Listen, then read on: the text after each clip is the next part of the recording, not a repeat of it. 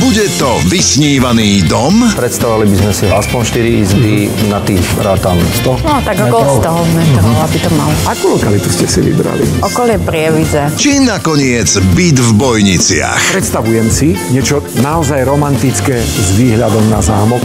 To by šlo, že byť, šlo, to by šlo. Koľko do toho chcete investovať? Ten strop u nás je tých 250. Nové bývanie v nedeľu o 17.50 na Jojke.